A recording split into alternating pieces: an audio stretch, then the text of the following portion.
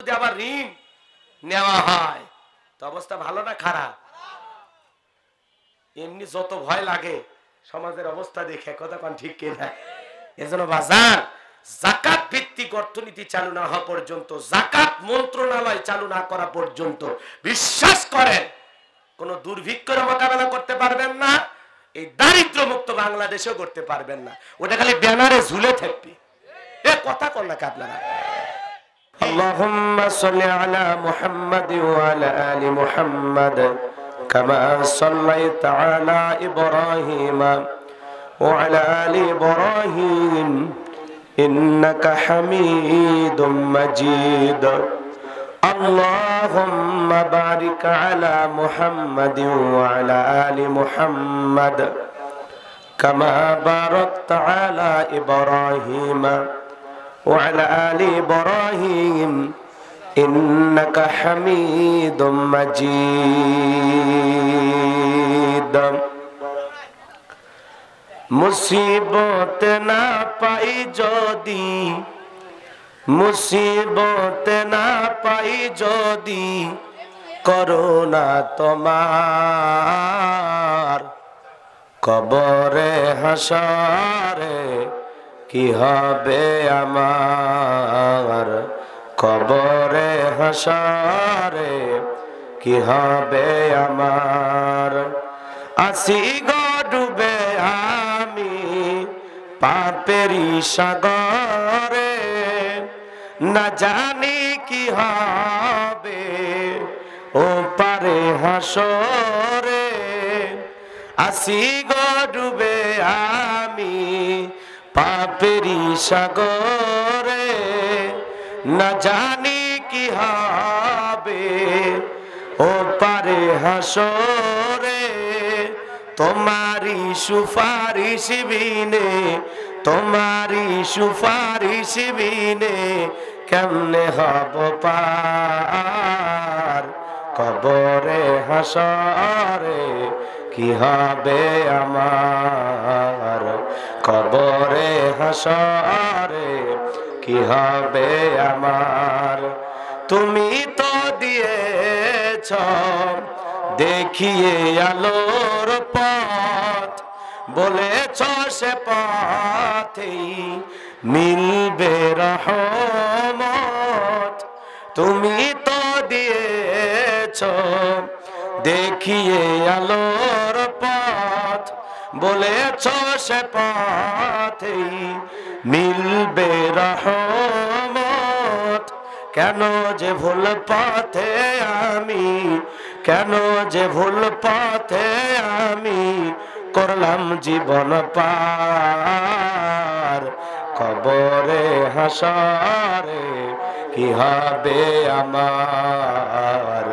কবরে হাসরে কি হবে আমার? মুসিবত না পাই যদি, মুসিবত না পাই যদি করোনা তোমার।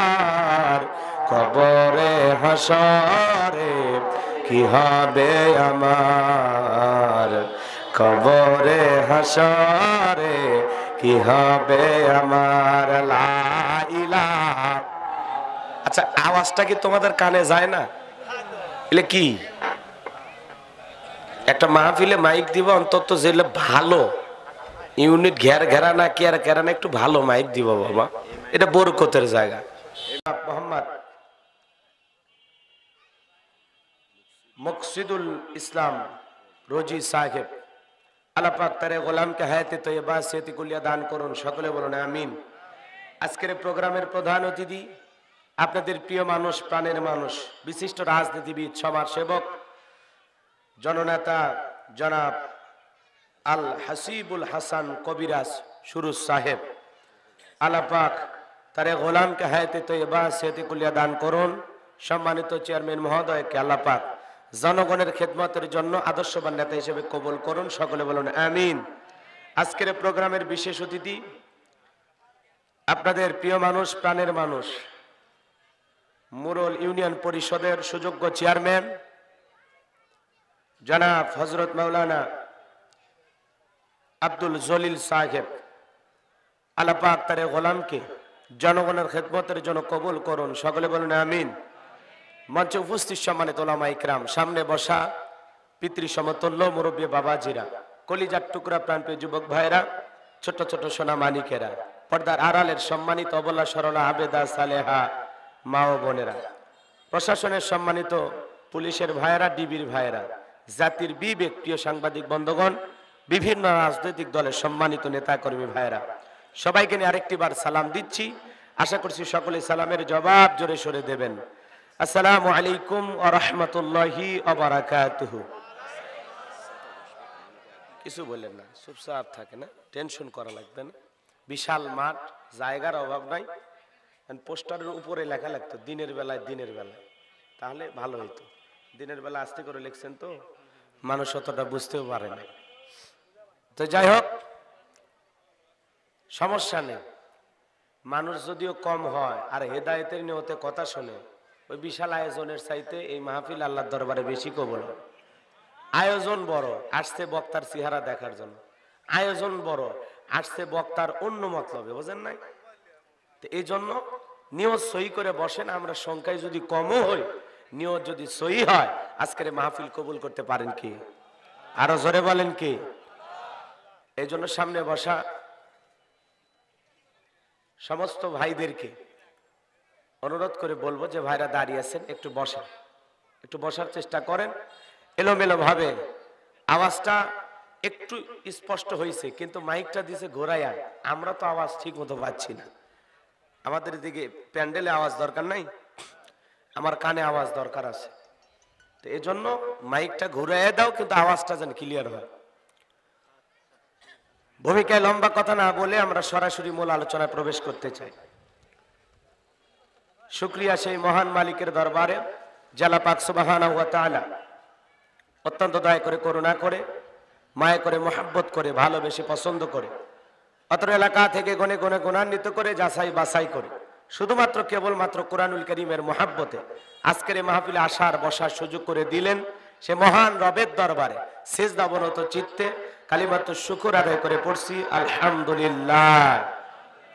পরুন রব্বানা লাকাল হামদ। হামদান কাসীরান তৈবাম মোবারকান ফি লক্ষ করে দর্দ সালাম মানবতার শ্রেষ্ঠ বন্ধু বিশ্বনবী বিশ্বনেতা যেন বিজ্ঞানের জাহিলাতের যুগ আগমন করে অসভ্য মানুষগুলোকে সভ্য বানিয়েছেন অভদ্র মানুষগুলোকে ভদ্র বানিয়েছেন কোরআন নামের সংবিধান দিয়ে কোরআনের রাজ কায়েম করে সোনালী যুগ উপহার দিয়া মদিনার পাক ভূমিতে সাহিত্য আছেন সে রাসুলের প্রতি কলেজে বড় মহাব্বত নিয়ে পড়ছি দরুদ সালাম সকলেই পড়ুন সাল্লাল্লাহু আলাইহি ওয়াসাল্লাম সম্মানিত ভাইরা, আজকের মাহফিল আসতে পেরে বসতে পেরে আপনারা খুশি না বেজা? কারা কারা বেজার? দুহাত তুলে দেখান তো দেখি। আমি বলছি বেজার কারা? তারপরে ঝোঁকে তালে দুই একজন উঠেছে। আচ্ছা হতেই পারে। কিন্তু সব জায়গায় তালে তাল মিলালে বিপদ আছে না নাই? যে কোনো কাজ বুঝে শুনে করা লাগবে। আজকের মাহফিলে আসতে পেরে বসতে পেরে কারা কারা খুশি? মুখে নিয়ে হাসি, আওয়াজ দেবে বেশি আল্লাহ নামের এমন একটি স্লোগান দেবেন, এলাকায় যদি কোনো ইসলাম বিরোধী উই পোকা, সার পোকা, তেলা পোকা থাকে, ওদের কলিজায় যেন ভূমিকম্প সৃষ্টি হয়। এমন আওয়াজ তুলতে রাজি আছেন যারা? বীর মুসলমানের মতো দুটি হাত টান টান করে তুলে দেখান তো তারা। লিল্লাহে তাকবীর। লিল্লাহে তাকবীর। আল কোরআনের আলম। আল হাদিসের আলম। দুনিয়ার মুসলিম। আমার নেতা, তোমার নেতা। আমার নেতা, তোমার নেতা। লিল্লাহে তাকবীর। আল কোরআনের আলম, আল হাদিসের আলো, দুর্নীতির আলো। হাতটা এইভাবে নাড়া দেন তো? মার্শাল্লাহ মার হাব আসতে কারণ নাকে যেন না লাগে হাত না নামান। অনেকে ঝোঁকে তালে বলেই ফেলেছেন, দুর্নীতির আলো ঘরে ঘরে যান। বাংলাদেশে দুর্নীতি দমন কমিশন আছে না নাই? এরপরে দুর্নীতি কমেছে নাকি ডিজিটাল কায়দায় বেড়েই চলেছে? দিন যত করাচ্ছে দুর্নীতির পাল্লা তত ভারী হচ্ছে, কথা বলেন ঠিক কিনা? আমরা চাই আমাদের এই প্রিয় মাতৃ বাংলাদেশ দুর্নীতি মুক্ত আল্লাহ কবুল করুন চিল্লা বলুন, আমিন। আমরা চাই আমাদের এই প্রিয় মাতৃ বাংলাদেশ মাদক মুক্ত আল্লাহ কবুল করুন, চিল্লা বলুন, আমিন। আমরা চাই আমাদের প্রিয় মাতৃ বাংলাদেশ যৌতুক মুক্ত আল্লাহ কবুল করুন, চিল্লা বলুন, আমিন। সম্মানিত ভাইরা আমার আর লম্বা কথা নয়, সরাসরি মূল আলোচনায় প্রবেশ করতে চাই। তারপরে দুই একটি কথা না বললেই নয়, আমরা যত জায়গায় করণের কথা বলতে যাই, বলে হুজুর সাবধানে আলোচনা করবেন। হুজুর ভুলে যাবেন না এলাকা কার হুজুর ওয়াজ যা করেন করেন, খবরদার। রাজনীতির কোনো আলোচনা করবেন না। আপনারাই বলেন তো, আমার বাড়ি কোন জেলা? গাইবান্ধা, আমি আসছি কোথায়? বগুড়া জেলায়। এখানে যে রাজনীতির কথা বলব, আগামী নির্বাচনে এলাকার মহিলা মেম্বার পদে দাঁড়ানোর সুযোগ আছে। তাহলে আমি কেন এখানে রাজনীতি করব। যদি করাই লাগে নিজের জেলা গাইবান্ধাই করব, কথা বলেন ঠিক কেনা? এজন্য আপনারা টেনশন মুক্ত থাকবেন। আমি বাংলাদেশের রাজনীতি কোনো দলের বক্তা না, আমি রাজনীতি কোনো বক্তব্য দেব না। I you not any political what because I am not a leader of any political party কারণ এখানে সব দলের লোক আছে আছে না নাই? এখানে বসে আছে আওয়ামী লীগ, বিএনপি, জাতীয় পার্টি, জামাত ইসলাম, জাসদ, বাসদ চরমনায় আটশোশি দেওয়ানবাগি ফুরপুরে হাটহাজারে ওলামানি জামাত তাবলিক পাবলিক ওলামালিক গণতন্ত্র, গণফোরাম, সুসমাজ বিকল বাজার এলজিপি বিডি নাগরিক শক্তি ভিপিল সোসাইটি, চার দল, চোদ্দ দল, আঠারো দল, উনিশ দল, বিশ দল হেফাজ ইসলাম বিনে বাংলাদেশ কংগ্রেস এই পর্যন্তই থাক। বাংলাদেশে কত দল, কথা বলেন ঠিক কিনা?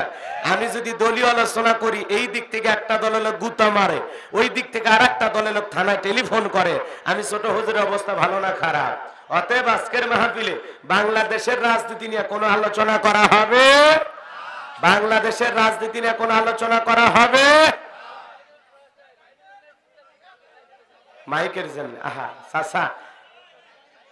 এই ওয়াজ আমরা সকাল থেকে করতেছি, তাও ক্লিয়ার হচ্ছে না। আহা, মুরব্বী বাবাজি বলেছেন, যুবক, মুরব্বীর কথাই বড় কথা তাই না? ওই দিক থেকে দিও না, এ হালকা অ্যাঙ্গেল করে দাও, হালকা। না, তোমার কিছুই করার নাই। তোমার কোনো দোষ নাই, সব দোষ বক্তার। বুঝছ? তোমার কোনো দোষ নাই। আমি যে কেন আসলাম?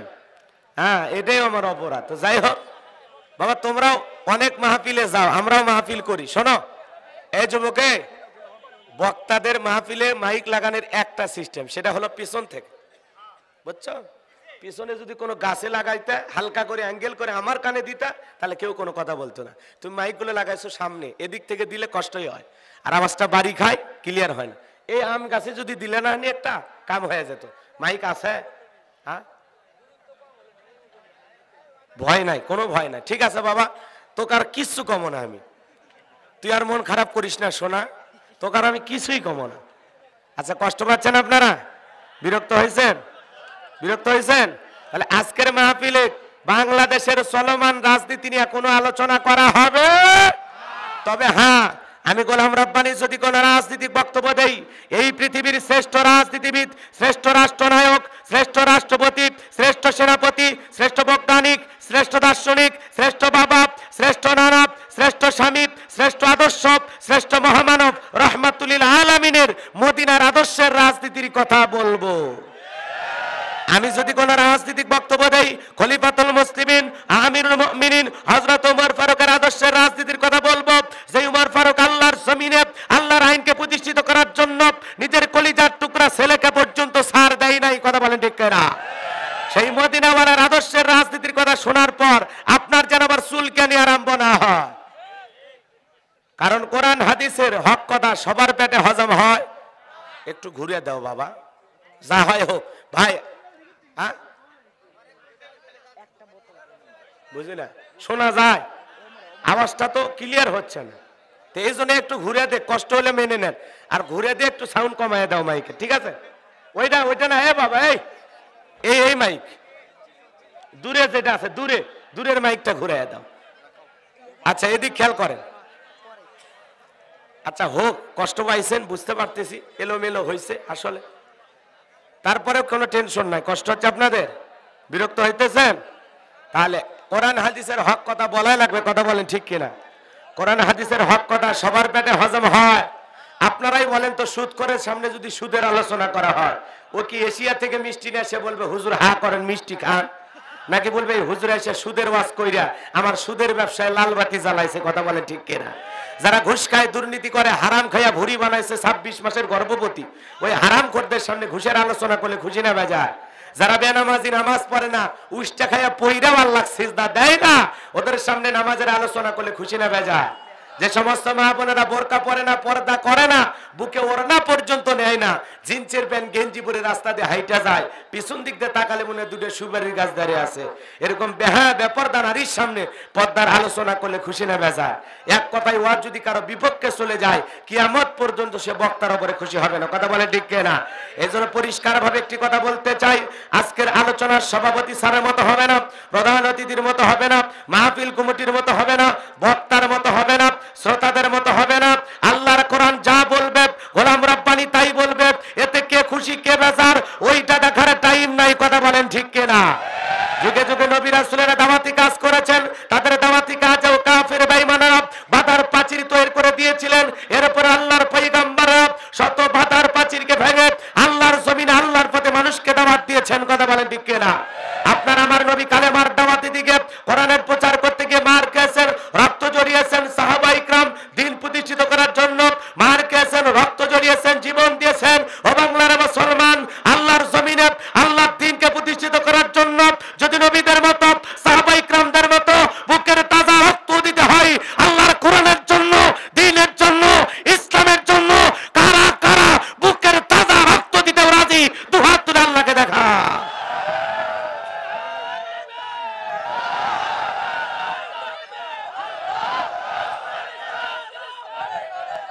লিল্লাহে তাকবীর হাত নামান আল্লাহ আকবার স্লোগান দিতে কি সমস্যা নাকি? অনেক মুসলমানের মুখে বলা হয় আল্লাহ আকবার স্লোগান নাকি, বিতর্কিত।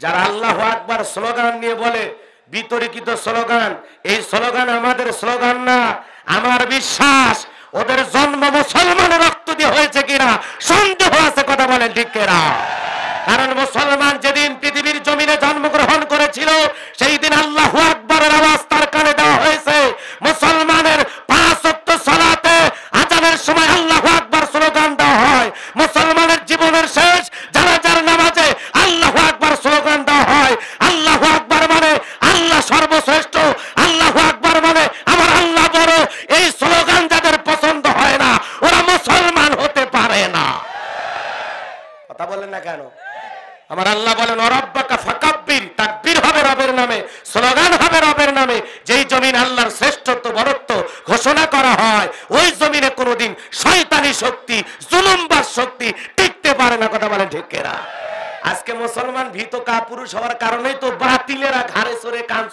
দিচ্ছে কথা কন না কে আর আমরা আর- আরামে নাকে সরিষার তেল দিয়ে ঘুমাচ্ছি। বলে, যেদিকে যা হয় হয়ে যাক। আমি সোভান আল্লাহর বাইরে যাব আছে না নাই? আছে না নাই? এই জন্য মুসলমান, আমরা কা পুরুষের জাত না, আমরা বীরের জাত। কথা বলেন না কেন আপনারা?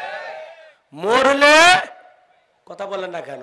মরার মতো মরবো, বাঁচলে বাঁচার মতো বাঁচবো। কারও কাছে মাথা নত করার সময় নাই। মাথা নত করব একমাত্র কার কাছে? ইমানদার আল্লাহ ছাড়া দুনিয়ার কাউকে ভয় করতে পারে না। আল্লাহ ছাড়া কাউকে ভয় করা যাবে না। কথা বলেন না কেন? ছোট্ট একটা সুরা তিলাওয়াত করেছি। দিনের বেলায় লম্বা সময় আলোচনা করা যাবে না। আমি হুজুরও ছোট, সুরাও ধরছি কোরআনের সবচাইতে ছোট। আপনারা অনেকেই হয়তোবা যারা তিলাওয়াত করার সময় ছিলেন, তারা বুঝতে পারছেন সুরাটার নাম কি বলেন তো, বাজান? সুরাটির নাম কাউসার। জোরে বলেন কি নাম? অনেকে মনে মনে ভাবতেছেন, হুজুর, এই সুরাত থেকে ওয়াজ করবেন, যদি জানতাম মোটর সাইকেলের তেল বুড়া আর অটো ভাড়া দিয়ে কষ্ট করে আপনার মাহফিলে আসতাম না। এরকম কি মনে মনে ভাবতেছেন? আপনারাই বলেন তো, বাজান, পরিচিত পথে পথ চলতে সহজ হয় না, কঠিন হয়? পরিচিত মানুষের সাথে কথা বলতে ভালো লাগে না, খারাপ লাগে? তো ঠিক পরিচিত সুরাত থেকে আলোচনা করলে মজা লাগার কথা, ভালো লাগার কথা, কারণ এই বিষয়টা আপনার জানা আছে। কথায় আছে, এক একটা ফুলের এক একটা সুগ্রাম আপনি হয়তো বা যেভাবে জানেন, আমি সেইভাবে জানি না। অথবা আমি আজকে যেভাবে বলব হয়তো আপনি সেভাবে শোনেন না এই জন্য কোরআন তো যত শুনবেন, তত বেশি মজা লাগার কথা, খারাপ লাগার কথা না। কথা বলেন না কেন? আমার আল্লাহ পাক কি বলেছেন?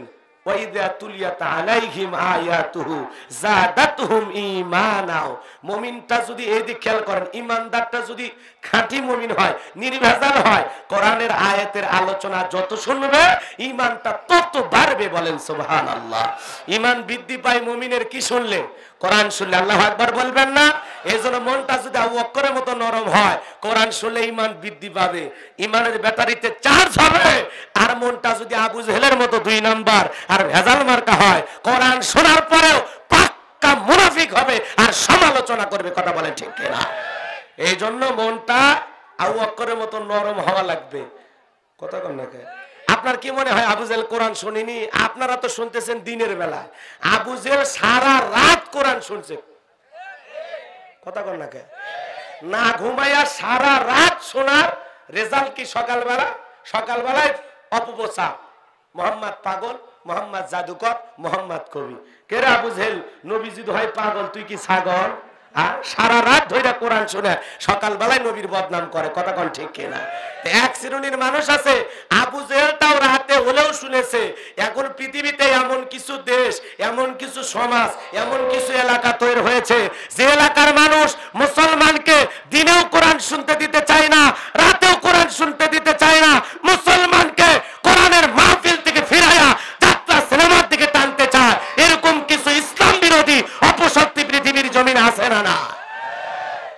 কোরআনের মাহফিলের কথা শুনলে ওদের এলার্জি। কথা বল না কেন? চুলকানে আরম্ভ শুরু হয়ে যায়। আল্লাহ ওদের হেদায়েত দান করুক, জোরে বলেন আমি লম্বা করব না, কোন সুরা? জোরে বলেন, কোন সুরা? বলেন তো, কোরআন থেকে কথা বললে কি কোনো সমস্যা আছে? কোনো ভেজাল আছে? কোরআনের ভিতরে কোনো মিথ্যা আছে? ধোকা আছে? কোনো সংশয় আছে? থাকবে কি করে? কিতাবটি নাজিল করেছেন কি? আরও জোরে বলেন। আল্লাহ রাব্বুল আলামিন বলেন জালিকাল কিতাবুল রাইবা ফি। আমার আল্লাহ পাক বলেন, এটি এমন একটি কিতাব, যেই কিতাবের মধ্যে কোনো সন্দেহ নাই, কোনো সংশয় নাই, কোনো মিথ্যা নাই, কোনো ধোকা নাই। দেয়ার ইজ নো ডাউট বলুন, আল্লাহু আকবার। হুদাল্লিল মুত্তাকিন। গাইডলাইন হিসাবে, পথ প্রদর্শক হিসাবে আসমান থেকে কিতাবটি নাজিলি করেছেন কে? সেই কিতাবের আলোচনা শুনলে লাভ না, লস। আরও জোরে বলেন। আমার আল্লাহ রাব্বুল আলামিন বলেন, ওয়া ইযা কুরিয়াল কুরআন ফাসতামিউ লাহু ওয়া আনসিতু লাআল্লাকুম তুরহামুন। সূরা আরাফ, আয়াত নাম্বার 204 আল্লাহ রাব্বুল আলামিন জানা দিলেন, যারা আমার মুমিন বান্দা, তোমাদের সামনে যখন কোরআনের আলোচনা করা হয়, কোরআন পাঠ করা হয়, চুপ করে কান লাগিয়ে মনোযোগ সহকারে কোরআনের কথাগুলো শ্রবণ করো। যারা চুপচাপ কোরআনুল কারীমের কথাগুলো শ্রবণ করতে পারবে, আমার আল্লাহ রাব্বুল আলামিন আসমান থেকে তাদের উপরে আল্লাহ রহমত বৃষ্টির মতো নাজিল করবেন বলুন, সুবহানাল্লাহ। এই জন্য কোরআনের কথা শুনলে লাভ না, লস। কোরআনের কথা শুনলে কার উপকার? একজন কয়, আল্লাহর উপকার। আল্লাহর উপকার না, কোরআনের কথা শুনলে মমিনের উপকার। আমার আল্লাহ পাক বলেন ওয়াদাক্কির ফাইন্নাযিকরা তানফাউল মুমিনিন। সূরা জারিয়ার 55 নম্বর আয়াত আল্লাহ রাব্বুল আলামিন জানা দিলেন, যারা আমার মুমিন বান্দা, তাদের সামনে যদি কোরআন দেওয়াজ করা হয়, কোরআন থেকে উপদেশ দেওয়া হয় এই কথাগুলো শোনার পর আমার মুমিন বান্দাদের উপকারে আসবে বলুন, সুবহানাল্লাহ। সেই কোরআন থেকে আলোচনা করব, সূরার নাম কি? আরও জোরে, জোরসে বলেন। আরও জোরে, উঠেই যাবে। তাও অনেকে মুখ খোলে না। আল্লাহ আপনি দেখেন কষ্ট হচ্ছে আপনাদের? ভাই, একটু আওয়াজ দেবেন। আমি করব ওয়াজ আপনারা দেবেন আওয়াজ। জবাব দেবেন ঠিক ঠিক, আলোচনা হবে কমপ্লিট শ্রোতাদের স্পিরিটেই বাড়ে বক্তার হিট। আপনারা যদি দুর্বল হন, আমিও বুঝব যে জায়গায় কি বলা লাগবে। একটু আওয়াজ দিয়ে সহযোগিতা করেন। পারবেন তো ইনশাল্লাহ সোমান আল্লাহ আলহামদুলিল্লাহ এমন ভাবে বলবেন যাতে ময়দান কেঁপে ওঠে। পারবেন না? আচ্ছা ঠিক আছে। জবান সেরে সবাই পড়ুন। আউযু বিল্লাহি মিনাশ শাইতানির الشيطان الرجيم بسم الله الرحمن الرحيم বিতাড়িত মোর্দার শয়তানের কাছ থেকে আল্লাহ পাকের কাছে আশ্রয় প্রার্থনা চাচ্ছি পরম কোন অসীম দল আল্লাহর নামে শুরু করছি সুরার নাম কাউসার সুরার নাম কাউসার জবান ছেড়ে সবাই তেলাওয়াত করুন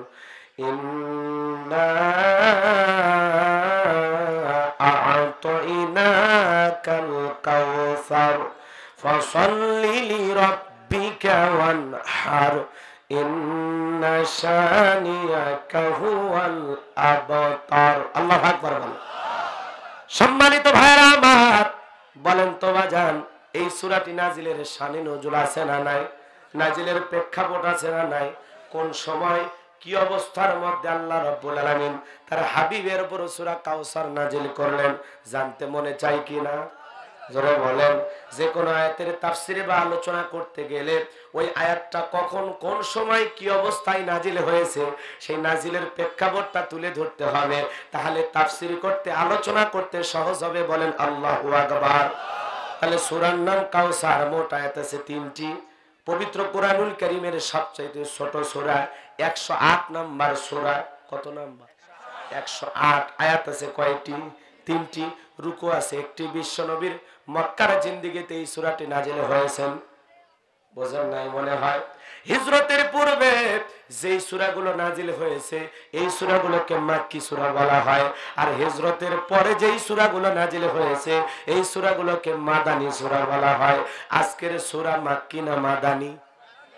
হৃদয়ের কান পেতে কথাগুলো শোনেন। কোন সময় নাজিল হয়েছে? নবীজির প্রিয় সাহাবী হযরত আনাস রাদিয়াল্লাহু তাআলা বলেন, নবীজি আমাদের সামনে বসা তাকায় দেখলাম আমার নবীজির মনটা ভীষণ খারাপ। মুখটা মলিন হয়ে আছে, চোখের কোনায় অশ্রু দেখা যায়। নবীজির মনটা খারাপ দেখে আমরা কিছু বলার সাহস পাইলাম না। কিছু সময় পরে তাকায় দেখি, আমার দয়ার নবী মুস্কি মুস্কি হাসতেছেন, বলুন, সুবহানাল্লাহ। ও মুরলের মুসলমানেরা, বগুড়ার বাবাজিরা, বিশ্ব নবীর মনটা কেন খারাপ? নবীজির কিছুক্ষণ পর আমার নবীজি কেন হাসেন? নবীজির কান্নার কারণটা কি? হাসার কারণটা কি জানার দরকার আছে না নাই? নবীজির মনটা খারাপ কারণ হলো তার কলিজার টুকরা ছেলে সন্তানগুলো জন্মগ্রহণ করে।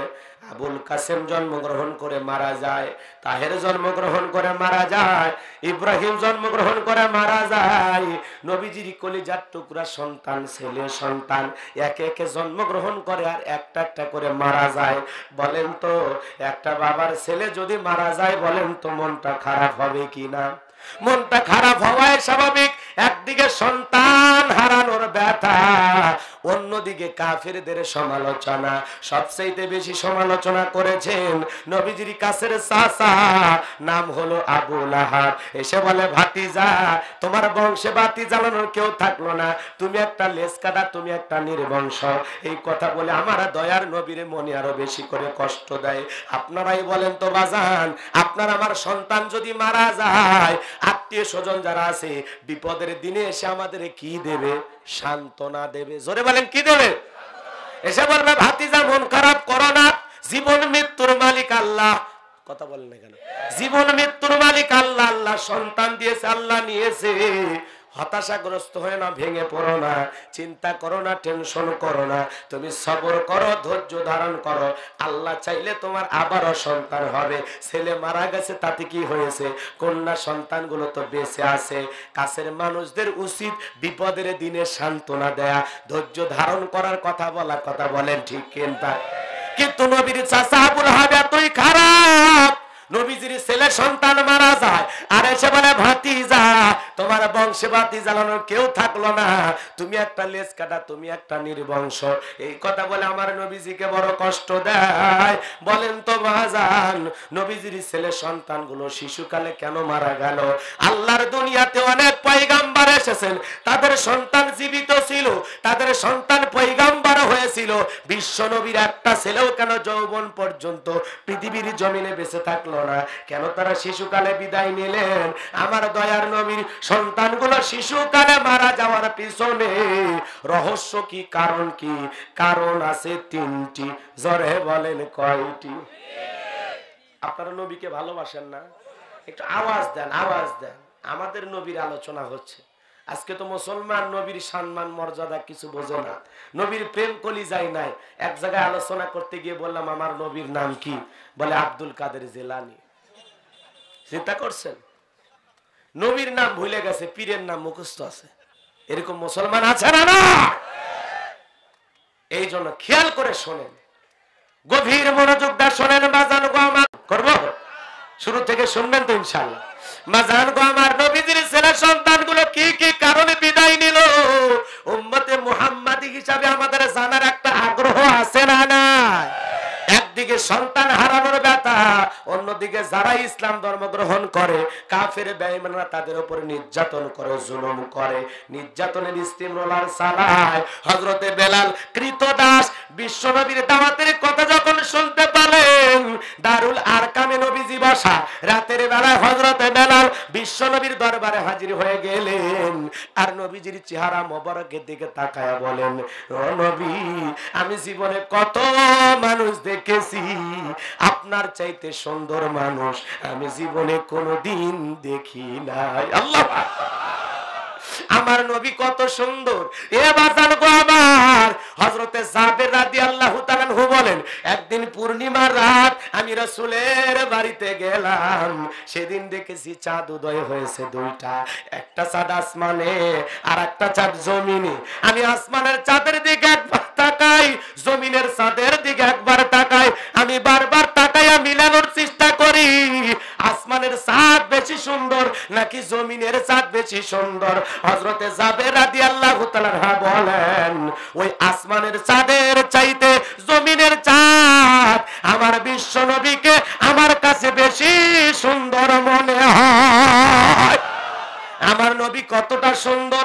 আম্মা জানায় সারাদি আল্লাহ ডেকে বলেন, ও দুনিয়ার মানুষ, যারা ইউসুফ নবীর চেহারার দিকে তাকাইয়া আপেল কাট থেকে আঙ্গুল কেটে ফেলে দিয়েছে, ওরা যদি একবার বিশ্ব নবীর চেহারার দিকে তাকাইতো, শুধু আঙ্গুল নয়, আঙ্গুল কাটতে কাটতে, হাত কাটতে কাটতে, কখন যে নিজের কলিজা কেটে দুফাক করে দিত মুহূর্তের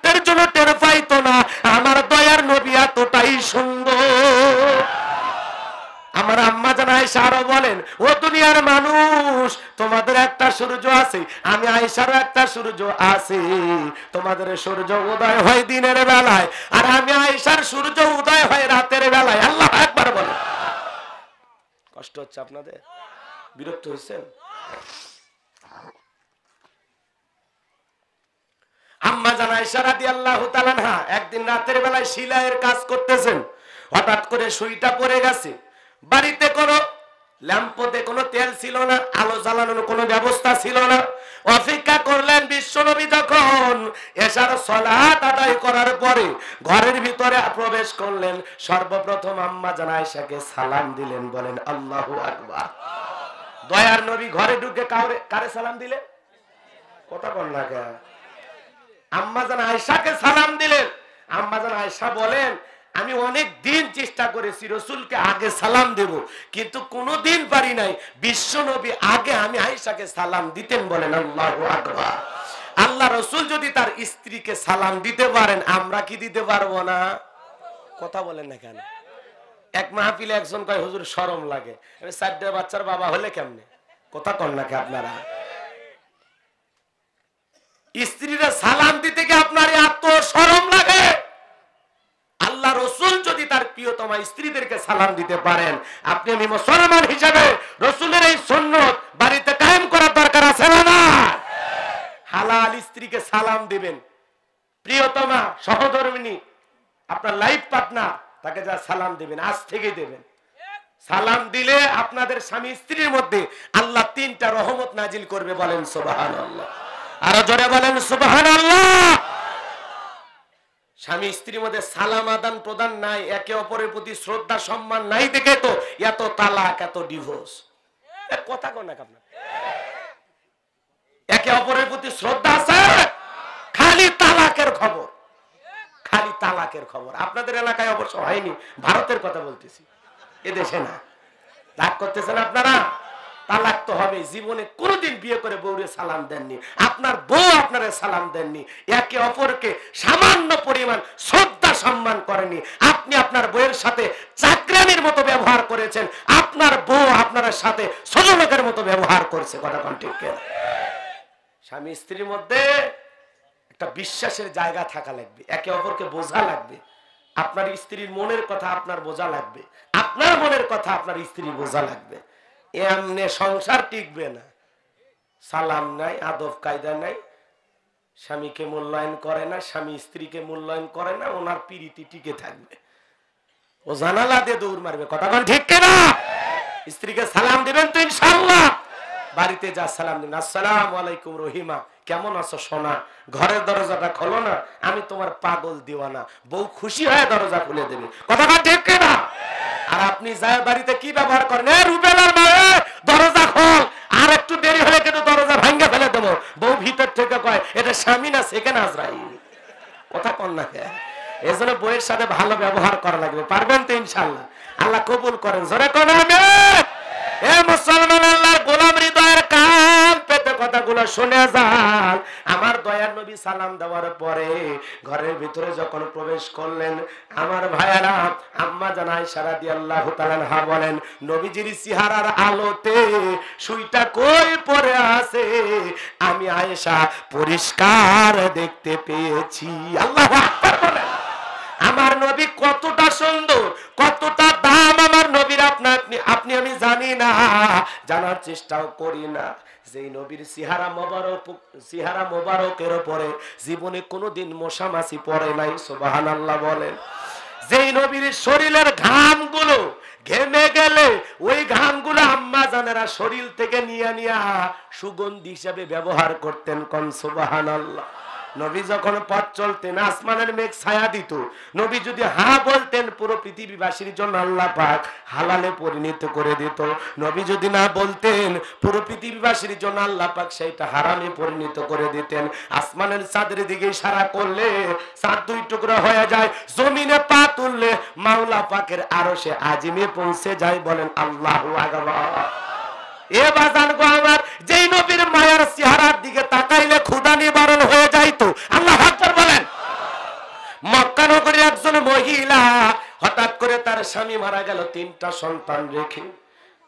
বড় ছেলেটা মা, বেশ কয়েকদিন হলো বাবা মারা গেছে, বাড়িতে কোনো খাবার নাই।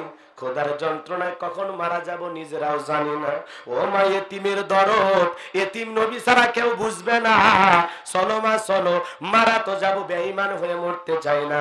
বিশ্ব নবীর দরবারে গিয়ে কালেমা পরে মরতে চাই বড় ছেলের কথাটা ভালো লাগল, মার দেরি করল না। তিনটা কলিজার টুকরা সন্তানকে নিয়ে বিশ্ব নবীর দরবারে হাজির হয়ে গেল। নবীজির দরবারে আসার পর দুই ভাই যখন নবীজির চেহারা মোবারকের দিকে তাকাইছে। এক ভাই আর এক ভাইকে ডেকে বলে, ভাই, এ কেমন মানুষের চেহারার দিকে তাকাইলাম? যেই মানুষের চেহারার দিকে তাকাইয়া আমার মনে হয় এই মাত্র পেট ভরে কি যেন খাইলাম। আমার ক্ষুধা নিবারণ হয়েছে। আল্লাহ বল। ছোট ভাই, বড় ভাইকে ডেকে বলে, ভাই আমি ওই একই কথা বলতে চাইছিলাম। এ কেমন মানুষের চেহারার দিকে তাকাইলাম গো। যার চেহারার দিকে তাকাইয়া আমার ক্ষুধা নিবারণ হয়েছে। আল্লাহ আকবার বলেন। সাহাবিদের বাড়িতে খানা না থাকলে তারা বেশি বেশি নবীজির কাছে হাজির হইতেন, নবীজির সামনে থাকতেন। আর মাহের নবীর চেহারার দিকে তাকাইয়া পেটের ক্ষুধার কথা ভুলে যেতেন, সুবহানাল্লাহ। কেমন নবী কেমন নবী? চেহারার দিকে তাকাইলে পেটের ক্ষুধা। সুবহানাল্লাহ বলবেন না। এমন নবী পাওয়াতে খুশি না বেজা? হজরতে বেলাল দেখতে বলে, নবী গো, আপনার চাইতে সুন্দর মানুষ দেখি নাই। আপনি নাকি কালেমার দেওয়া দেন? ও নবী, আমার একটু কালেমা পড়ায়া দেন। হজরতে বেলাল নবীজির হাতে হাত রেখে কালেমা পরে মুসলমান হয়ে গেলেন বলেন, আল্লাহ হজরত বেলাল পরে নিন আল্লাহ ইলাহা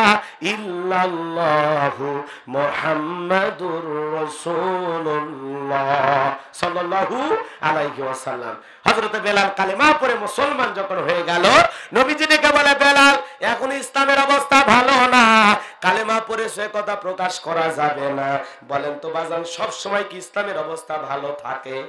ভালো ছিল। পরিবেশ সব সময় অনুকূলে থাকবে না। পরিবেশ তৈরি করে নিয়ে দিনের পথে টিকে থাকতে হবে, কথা বলেন ঠিক কিনা। কেউ আপনাকে দিন প্রচারের জন্য জায়গা ছেড়ে দেবে না।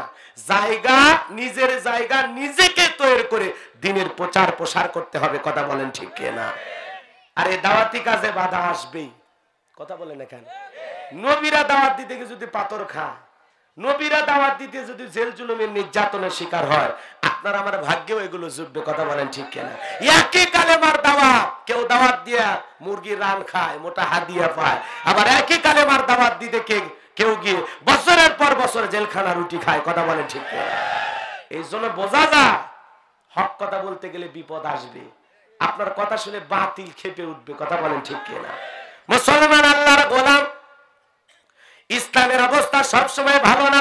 পুরো পৃথিবীর দিকে তাকা দেখেন, জালেমদের টার্গেট হলো একটা, ইসলাম আর মুসলমান। কথা বলেন। টুপি দেখে না, দাড়ি দেখে না, পাঞ্জাবি দেখে না, ওদের টার্গেট একটাই, মুসলমান কিনা। কথা বলেন না কেন? এই জন্য এক সময় আমাদের দেশে এক শ্রেণির মানুষ চিন্তা ভাবনা করেছিল, না, ওনাদেরকে ধরতেছে, আমাদের কিছু হবে না।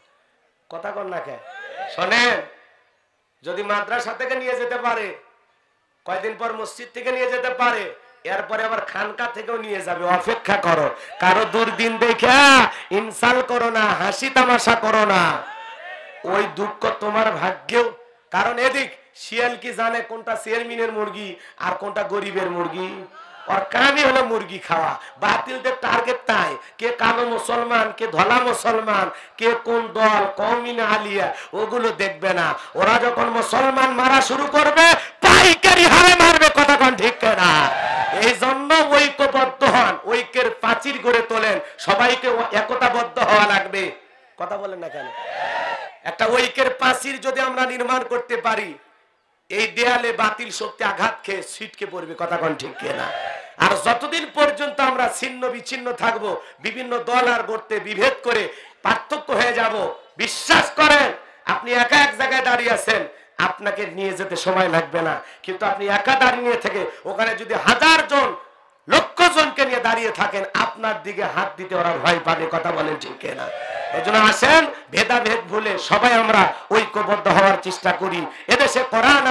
প্রতিষ্ঠিত করার জন্য মসজিদ থেকে বেরিয়ে, মাদ্রাসা থেকে বেরিয়ে, খানকা থেকে বেরিয়ে সবাই এক সুরে কথা বলি, কথা বলেন ঠিক না আল্লাহ আমাদের সঠিক বুঝদান করুন, জোরে বলেন আমি কষ্ট হচ্ছে আপনাদের? বিরক্ত হইতেছেন? সামনের দিকে যাব? তাহলে নবী কি বলে? বেলাল, এখন ইসলামের অবস্থা ভালো না, কালেমা পড়ে সে কথা প্রকাশ করা যাবে না। চিন্তা করেন। কালেমা পড়েছে, মুসলমান হয়েছে, এ কথা বলাও যাবে না। তাহলে পরিবেশটা কেমন ছিল? আপনার আমার জীবনে এরকম পরীক্ষা আসছে? মুরব্বী, যে শুনছে মুরল বাজারে মিছিল বের হয়েছে, সাইকেল ঘুরে কয়, বাবা, আমি ওগুলোর মধ্যে নাই কথা কন না খেয়ে এই হলো আমাদের ইমানের অবস্থা। যদি বলা হয়, দাড়ি দেখে ধরতেছে, কয়, এ সেলুনালা মারিয়ে দে, তাড়াতাড়ি। বাপরে বাবা আমার এত নবীর সুন্নত পালন করার দরকার নাই। আমরা এইরকম মুসলমান হয়ে গেছি, কথা কোন ঠিক না ভালো করে বোঝার চেষ্টা করবেন, বাজান গো আমার হজরতে বেলাল দেখে বলে নবী গো সেই বেলালের জীবনের কোনো দাম নাই একদিন আমার মনি উমায়ের কাছে বলেছিলাম, উর্দুম্মা ছাগল পেশাব পায়খানা করে দেয়, এই ঘরে থাকতে আমার বড় কষ্ট হয়। আমার মনি উমায়া দেখে বলেছে, বেলাল রে, ওই উর্দুম্মা ছাগলের দাম আমার কাছে আছে, কিন্তু তোর মতো হাফসি কালো বেলালের দাম আমার কাছে নাই ধরে বলেন না উজুবিল্লাহ ও নবী, আপনি শুধু দোয়া করেন, আমি যেন কালেমার পথে ইসলামের পথে টিকে থাকতে পারি, বলেন, আল্লাহ আকবার। হজরতে বেলাল লম্বা সময় নবীজির দরবারে কাটাইয়া চলে আসলেন, পরের দিন সূর্য উদয় হয়েছে। আকাশের সূর্য উদয় হওয়ার পর হজরতে বেলাল আর দরজা খোলে না খোলে না। অন্য চাকর বাকর যারা আছে ওরা উমারের কাছে যা বলে, ও আমাদের নেতা উমাইয়া, এখন পর্যন্ত খোলে নাই। উদ্দম্বা ছাগলের পেশাব পায়খানা পরিষ্কার করে নাই। তাই নাকি বলে হ্যাঁ এইবার ওমাই এমনি তো বেলালকে দেখতে পারে না। তার উপর আবার নালিশ। এইবার দরজা এসে ধাক্কায় বেলাল দরজা খোল, বেলাল দরজা খোল। হজরতে বেলাল দরজা খোলে না, জোরে করে ধাক্কা মারছে যখন। দরজা খুলে তখন হজরতে বেলাল যেদিন কালে পরে মুসলমান হয়েছে, ওই দিন ওমায়া তাকায় দেখে একটা উদ্দম্বা ছাগলের কাছে কোন পেশাব, পায়খানা নাই। আল্লাহ আকবার বলে আরও যারা বলেন, আল্লাহ আকবার। এইবার ওমায়া দেখে বলে, "এ চাকরের দল, আমার বেলালের বিরুদ্ধে মিথ্যা অভিযোগ দাও। তোমরা যখন ঘুমাচ্ছিলে, বেলাল তখন ময়লা পরিষ্কার করছে। তাকায়া দেখো, একটা উদ্দম্বা ছাগলের কাছে কোনো পেশাব, পায়খানা নাই। যাও নিজেদের কাজে চলে যাও। যাও! এই কথা বলে ওদেরকে তারাইয়া দিলেন। এইবার বেলাল এক জায়গায় মাথা নিচু করে কি যেন ফিস ফিস করে পড়তেছেন। এইবার কাছে যা হালকা করে ধাক্কা মারছে যখন বেলালের জবান দিয়ে আল্লাহ পাকের কালেমার আওয়াজ বের হয়েছে, তখন বলেন, আল্লাহ বেলালের কণ্ঠে কালেমার শোনার পর ওর মাথায় মনে হয় আকাশ ভেঙে পড়ছে। এইবার দেখে বলে, বেলাল রে, তুই কি আব্দুল্লাহর বেটা মোহাম্মদ সাল্লাল্লাহু আলাইহি সাল্লামের কালেমা গ্রহণ করেছিস? তুই কি মুসলমান হয়েছিস? হজরতে বেলাল ডেকে বলে ও মাইয়া মুসলমান হয় যারা, মিথ্যা কথা বলে না তারা, জোরে কন মার হাওয়া আমি গতকাল রাত্রিতে নবীজির হাতে হাত রাইকা কালেমা পড়ে মুসলমান হয়েছি বলেন আল্লাহু আকবার। নবীজির হাতে হাত রেখে আমি কালেমা পরে মুসলমান হয়েছি। এই কথা যখন শুনতে পেরেছেন বাজান গো আমার, এইবার উমাইয়া ডেকে বলে, বেলাল রে উদ্দুম্বা ছাগলের মালিক বানায় দেব, থাকার জন্য ভালো ঘরের ব্যবস্থা করে দেব। হজরত বেলাল দেখে বলে ওমাইয়া দুনিয়ার পার্থিব সম্পদ দিয়া বেলালের ইমান কেনা যাবে না। আল্লাহ আকবার বলে আরও জোরে বলেন, আল্লাহ আকবার। মুনাফিকেরা সকাল বিকাল ইমান বিক্রি করতে পারে কিন্তু বিলালের মতো খাঁটি ইমানদার হাসতে হাসতে বুলেটকে গোলাপের পাপড়ি হিসাবে গ্রহণ করবে এরপরে বাতিলের কাছে বাতিলের সম্পদের কাছে মাথা নত করতে পারে না পারে না পারে না কথা বলে ঠিক কিনা? একজন খাঁটি ইমানদারের ইমান কখনো কেনা যায় না কথা বলেন না কেন কেনা যায় কেনা যায় না। বাতিল মোনাফিক যারা আছে, ওরা সকাল বিকাল বিক্রি হয়। কথা বলেন ঠিক কিনা? ভাইরা, আমার আজান হইতেছে, ওটা বসা কেউ করবেন না। এই মাঠে আপনারা নামাজ পড়বেন, আমরা আলোচনা শেষ করার চেষ্টা করব ইনশাল্লাহ কতই জামাত? সাড়ে চারটায় বললে পারলেন চারটা পনেরো। হ্যাঁ চারটা পনেরো। আচ্ছা চারটে পনেরো, তার মানে এখনও আধা ঘণ্টার সময় আছে। ওটা ভাষা করবেন না। দয়া করে আমি অনুরোধ করতেছি, এই জায়গায় আমরা জামাত করে চলে যাব ইনশা আল্লাহ পরিবেশটা নষ্ট করবেন না, খালি খেয়াল করে কথাটা শোনেন। আমি কেন সুরা কাউসার তেলাওয়াত করলাম? শুধু নাজিলের প্রেক্ষাপটটা বলে আমি আলোচনায় চলে যাব ইনশা আল্লাহ কষ্ট হচ্ছে আপনাদের? কষ্ট হচ্ছে? হৃদয়ের কান পেতে কথাগুলো শুনে যান, যে কথা বলতে চাচ্ছিলাম। গভীর মনোযোগ দিয়ে কথাগুলো শুনবেন। হজরতে বেলাল, এইবার ওমায়া দেখে বলে বেলাল রে, আমার বড় নেতা আবু জেহেলকে খবর দেব। এই কথা যখন বলেছে হজরত বেলাল দেখে বলে, ও মাইয়া, বড় নেতা, ছোট নেতা, কোন নেতাকে এখন গোনার টাইম নাই। মার হাবা কবেন না। কোন আবু জেলকে আমি ভয় পাই না, আপনি ডাক দিতে পারেন, কোনো সমস্যা নাই। এইবার উমাইয়া চলে গেছে আবু জেলের বাড়িতে, যায় বলেন নেতা, সর্বনাশ হয়ে গেছে। আমার বাড়ি কৃতদাস বেলাল কালিমা পরে মুসলমান হয়েছে, তাই নাকি? বলে, যা, বাড়িতে যা, আমি আসতেছি। কয়েকটা ক্যাডার, মাস্তান, ছোট ছোট সামসে থাকে, বোঝেন না? ওদেরকে সঙ্গে নিয়ে চলে আসছে ওমায়ের বাড়িতে।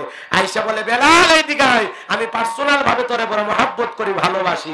এইদিকে সব তোরে উর্দুম বা ছাগলের মালিক বানায় দেব। ব্যবসা বাণিজ্য করার জন্য অর্থ সম্পদ টাকা পয়সা দেব। এরপরেও শুধুমাত্র একটাই দাবি আব্দুল্লাহর বেটা মোহাম্মদ সাল্লামের ধর্ম ত্যাগ কইরা বাপ দাদা পূর্বপুরুষের ধর্মে ফিরায়। হযরত বেলাল দেখে বলে, আবু জেহেল, দুনিয়ার সব সম্পদ যদি বেলালকে দিতে চাও, এরপরে বেলাল দুনিয়ার সব সম্পদ ছাড়তে রাজি ইমানের পথ থেকে ফিরে আসতে রাজি নাই, বলেন আল্লাহু আকবার। এইবার আবু জেহেল দেখে বলে, বেলাল রে, সোজা আঙ্গুলে ঘিউ না, উঠলে আঙ্গুল একটু কি সত্যি ইসলামের পথ থেকে ফিরে আসবে না? বেলাল বলে, না না, ফিরে আসব না। এইবার আবু জেহেল যুবকদের লেলিয়ে দিল চাবুক দিয়ে পিটাও। লম্বা ঘটনা আমি লম্বা করব না। চাবুক দিয়ে পিটাইতে পিটাইতে বেলালের পিঠ দিয়ে রক্ত ঝরা শুরু হয়ে গেল। এরা যত জোরে চাবুক মারে, বেলাল তত জোরে আমার আল্লাহর জিকিরি করে। আল্লাহ আকবার। এত জোরে যে চাবুকটা পিটাইছে যে বলতেছে না, বাবারে মারে, লাগতেছে সাইরা তো বলে না। এরা যত জোরে চাবুক মারে, বেলাল তত জোরে কার জিকিরি করে? আরও জোরে বলেন, আল্লাহর জিকিরের সাগরে ডুব দিয়েছে, বলেন, আল্লাহ আকবার। এইবার বেলাল কাবুজের দিকে বলে, বেলাল রে, মারতে মারতে পিঠটা পেটে রক্ত লাগতেছে এত মারা মারলাম বল রে বেলাল, বল। এখনও ইসলামের পথ থেকে ফিরে আসবে কিনা? হজরত বেলাল দেখে বলে, আবু জেহেল রে, মারতে মারতে যদি মেরে ফেলে দাও, আমি জীবন দিতে রাজি, ইমানের পথ ছাড়তে রাজি নাই। আল্লাহ আকবার বল। এইবার বাজান গমার পায়ের ভিতরে রশি লাগাইয়া মরুভূমির উত্তপ্ত বালিতে ছেঁচড়ায়া ছেঁচড়ায়া নিয়ে ঘোরা হলো। উত্তপ্ত বালি, আরবের গরম বালি এমন যদি চাল দিয়ে মুড়ি হয়ে যাবে, এত উত্তপ্ত গরম বালি। সেই গরম বালিতে ছেঁচড়ায় ছেঁচড়া নিয়ে বিকেল বেলা নিয়ে আসার পর বেলালকে বলতেছে, বেলাল, চাবুক দিয়ে পিটাইলাম। বালুর উপরে ছেঁচড়ায় ছেঁচড়ায় নিয়ে ঘুরলাম। এরপরে বল, আব্দুল্লাহর বেটা মোহাম্মদ সাল্লামের ধর্ম ত্যাগ করবি কিনা? হযরত বেলাল ডেকে বলে, আবু রে, শত নির্যাতন জুলুম যতই করো, মনে রাখবা, এই বেলালের নিঃশ্বাস থাকবে যতদিন, বেলাল দিনের পথে টিকে থাকবে ততদিন বলেন আল্লাহু আকবার। এ বাজার গো আমার হৃদয়ের কান পেতে কথাগুলো শুনে যান, যে কথা বলতে চাচ্ছিলাম। এইবার আবু জাহেল কয়েকজন যুবককে বলল, বড় একটা পাথর নিয়ে এসে বেলালের বুকের উপরে চাপায়া দাও। এইবার বেলালের বুকের উপরে বড় পাথর দিয়া নেতা মনে করল, বেলাল এইবার মারা যাবে। এই কথা বলে তারা চলে গেল। বাজান গো আমার, এইবার হজরতে বেলালের বুকের উপরে পাথর থাকার কারণে হজরতে বেলাল আল্লাহর জিকির করতে কষ্ট হজরতে বেলাল দুইটা চোখের পানি ছেড়ে দিয়া তারপরে জবানে জিকির নিয়া আমার আল্লাহকে ডেকে বলে, আল্লাহ, তুমি তো সেই আল্লাহ যে ইব্রাহিমের জন্য নবরুদের অগ্নিকুণ্ডকে ফুলের বাগান বানায় দিয়েছ। ও আল্লাহ, তুমি কি পারো না? বেলালের বুকের উপরে পাথর থাকার কারণে তুমি কি পারো না? বেলালের বুকের পাথরটাকে তুলার মতো নরম বানায় দিতে। হজরতে বেলাল দোয়া করতে দেরি। আসমানের মালিক আল্লাহ দোয়া কবুল করতে দেরি করে নাই। আমার আল্লাহ বেলালের বুকের পাথরটাকে তুলার মতো নরম বানায়া দিয়েছে। আল্লাহ আকবার। আশিক রাসুল বেলাল কারে বলে, নবীর প্রেম, ভালোবাসা বেলালের বুকে কেমন ছিল? নবীজি যখন মক্কায় পথ চলতেন হজরত বেলাল একবার ডানে যায় একবার বামে যায়। নবী ডেকে বলে, বেলাল রে, বুঝি না, ডানে যাও, বামে যাও, ব্যাপারটা কি? হজরতে বেলাল ডেকে বলে, নবী গো, আমি ডান দিকে যাই, আর মনে মনে ভাবি, ওই কাফেরা যদি ডান দিকে তীর নিক্ষেপ করে, ওই তীরটা যেন সর্বপ্রথম আমি বেলালের বুকের ভিতরে ঢোকে, আল্লাহ একবার বলে। ও নবী, আমি বাম দিকে যাই, আর মনে মনে ভাবি, আপনি দিনের দাওয়াত দেন, ইসলামের প্রচার করেন কাফেররা হলো আপনার শত্রু। ওরা যদি আপনাকে হত্যা ওই তীরটা যেন সর্বপ্রথম আমি বেলালের বুকের ভিতরে ঢোকে। আমি বেলাল, মারা গেলে ইসলামের ক্ষতি হবে না। আপনি নবী মারা গেলে ইসলাম আর সামনের দিকে যেতে পারবে না। মার হাবা বেলাল কারে বলে? একজন বেলালে আমনে হয় নাই। হজরতে বেলাল আশিক রাসুল নবীর প্রেম কত জানেন? নবীজি যেদিন ইন্তিকাল করেছিলেন, ছোট্ট বাচ্চার মতো ফুফিয়ে ফুফিয়ে হজরত বেলাল কাঁদে। সাহাবিরা বলে, বেলাল, তুমি আর কেঁদো না, কাঁদো না। বেলাল ডেকে বলে, না না, আমি আর কোনোদিন আজান দিতে পারব না। আমার নবী, আমি আজান দেওয়ার পরে আর ইমামতি করার জন্য সামনে দাঁড়াবে না। আমি নবী আজান দেওয়ার পরে আমার নবী আর মুসল্লায় দাঁড়াবে না। আমি বেলাল আর কোনোদিন আজান পারবো না চোখের পানি ছেড়ে দিয়ে হজরত বেলাল কাঁদে, আর কাঁদে কাঁদে, আর কাঁদে। সাহাবিরা সান্ত্বনা দেওয়ার চেষ্টা করেন না। হজরত বেলালকে সান্ত্বনা দেওয়া যায় না। নবীজি সোমবারের দিন ইন্তেকাল করলেন, বুধবারের দিনে দাফন সম্পন্ন হয়ে গেল। এরপরে হজরত বেলাল ডেকে বলে, না না, আমি আর মদিনায় থাকব না। মদিনা থেকে হজরত বেলাল চলে গেলেন। ছয় মাস যখন অতিবাহিত হয়ে গেল, বিশ্ব নবী এক রাতে স্বপ্নে দেখে বলে, বেলাল, কত মানুষ দূর দূরান্ত থেকে আইসা, আমি নবীর কবরের পাশে দাঁড়াইয়া সালাম দেয়। কত মানুষ দূর দূর দূর দূরান্ত থেকে আইসা আমি নবীর রওজা মোবারকে সালাম দিয়া যায় বেলাল একবার মদিনায় আইসা আমি নবীকে একবার সালাম দিয়া যা। এই কথা যখন রাত্রি বেলায় স্বপ্নে বেলাল দেখতে পারলেন, আর দেরি করলেন না। পরের দিন ঘুম থেকে ওইটা মদিনার পথ তুললেন মদিনায় যখন পৌঁছে গেলেন, চতুর্দিক দিয়ে মানুষজন হাজার হাজার চলে আসছে, সাহাবা ইকরাম চলে আসছে। সবার মুখে একটাই কথা, বেলাল, কতদিন হয়ে গেল তোমার আজান শুনি না। দাও না একটু আজান দাও দাও না একটু আজান দাও। হজরত বেলাল ডেকে বলে, না না, আমি আর কোনোদিন আজান দিতে পারব না। আমি আজান দেওয়ার পরে আমার দয়ার নবী ইমামতি করবে না। আমি বেলাল আর কোনোদিন আজান দিতে পারব না। সবাই যখন বলতেছে, বেলাল, কারও কথা শোনে না। নবীর নাতি হাসান আর হোসাইন দুই ভাই যখন এসে বেলালের দুইটা হাত ধরেছে, হোসাইন যখন ডেকে বলে, নানু ভাই, ও নানু ভাই নানাও চলে গেছে, তুমিও আমাদের ছেড়ে অনেক দূরে হারিয়ে গিয়েছিলে। ও নানু ভাই ছয়টা মাস অতিবাহিত হয়ে যায়।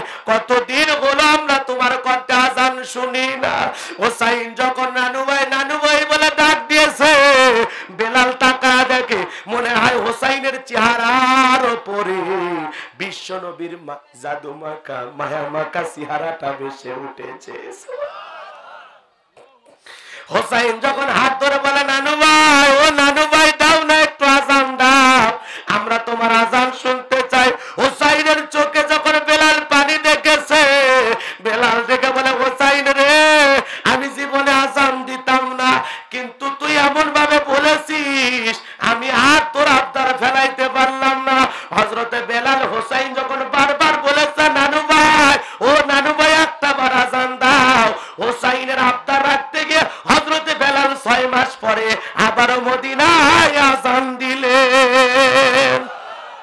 কেমন আশিকেরা শুনলে বেলাল। বেলালের ওপর নির্যাতনের খবর নবীজির কানে চলে গেছে। নবী আবু বকরকে ডেকে ওলা আবু বকর যেভাবে পারো আমার বেলাল কাজ করো। হযরত আবু বকর অনেক দাম বেশি দিয়া উমাইয়ার কাছ থেকে বেলালকে আজাদ করে গোলামের জীবন থেকে মুক্ত করলেন বলেন আল্লাহু এই যখন ইসলামের অবস্থা, একদিকে সন্তান হারানোর ব্যথা, অন্যদিকে সাহাবাই ক্রামদের উপর নির্যাতন, এই জন্য নবীজির মনটা ভীষণ খারাপ, চোখের কোনায় অশ্রু। আমার নবী আবার কেন মুসকি হাসেন? এইবার বিশ্ব নবী ডেকে বলে আমার হাসি দেওয়ার কারণ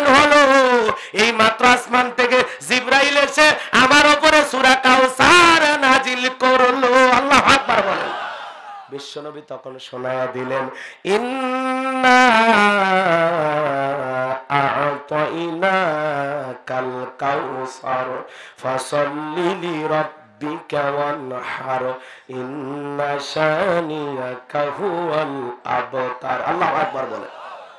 নবীজি শোনায় দিলেন, বলেন তো, নবীজির মন যখন খারাপ, নবীকে সান্ত্বনা দেওয়ার দায়িত্ব কার?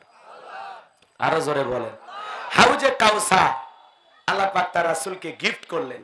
দুনিয়ার কোন পয়গাম্বারকে আল্লাহ হাউজে কাউসার দেন নাই। আপনার আমার নবীকে আল্লাহ হাউজে কাউসার দান করেছেন বলেন আরও বলেন হাউজে কাউসার দান করেছেন। বলবেন না? কষ্ট হচ্ছে আপনাদের? বিরক্ত হইতেছেন আমার কথা রাখজান করেন না, বাজান। এদিক একটু খেয়াল করেন। এইবার আমরা মূল আলোচনায় চলে যাব। কোরআনের কথা যত শুনবেন ভালো লাগবে, খারাপ লাগার কথা না। ছোটবেলায় বাবার হাত ধরে মসজিদে গিয়েছিলাম, ইমাম সাহেবের কণ্ঠে সুরে ফাতিয়া শুনেছি। আপনি চল্লিশ, পঞ্চাশ বছর নামাজ পড়েছেন।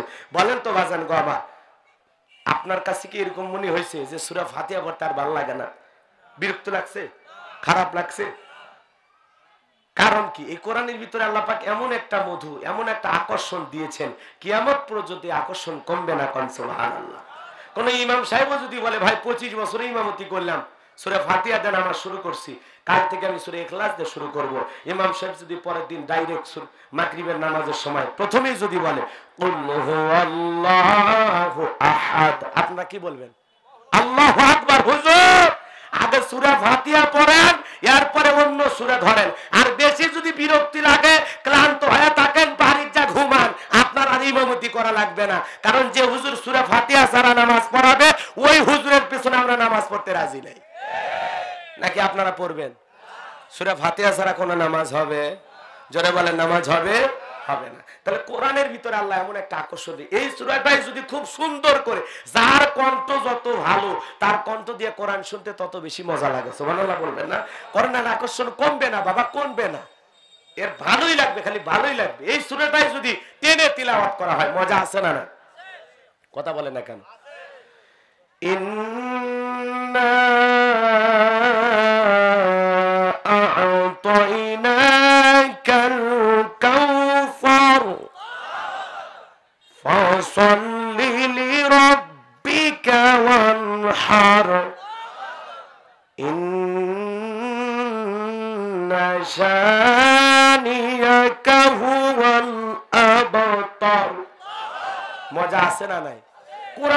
টেনে পড়বেন আহা, মিশরের তিলাওয়াত যখন করে, কণ্ঠটা শুনে মনে হয় এই মাত্র কোরআন নাজিল হচ্ছে বলেন, সুবহানাল্লাহ।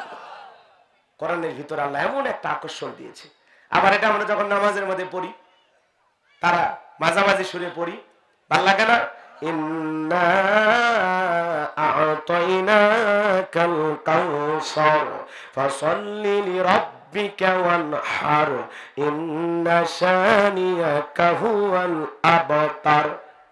না নাই?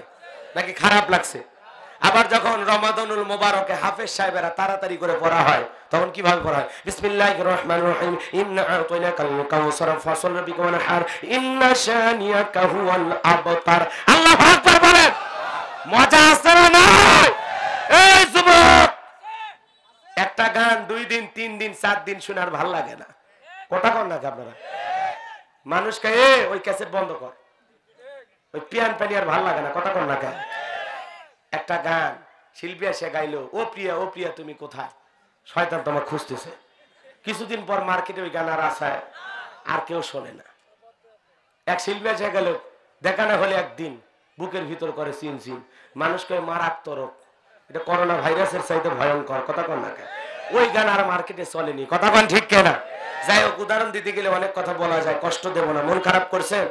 ওই গানটা শিল্পী যেমনে গাইছে, ওইভাবে না গায়ে আপনি যদি চিৎকার মেরে গাওয়া শুরু করেন, ও প্রিয়া! মানুষকে তার শিরছে রে, পাগলা আছে। আবার যদি তারা উড়ে কর মানে পাগলা আছে, কথা কন ঠিক কিনা? তার মানে শিল্পী যে সুরে গাইছে, ওই সুরের একটু পরিবর্তন হয়ে গেলে ওই গানের আকর্ষণ থাকে না, মজা থাকে না, বিচ্ছিরি লাগে, অসুন্দর লাগে। কথা কন নাকি আপনারা?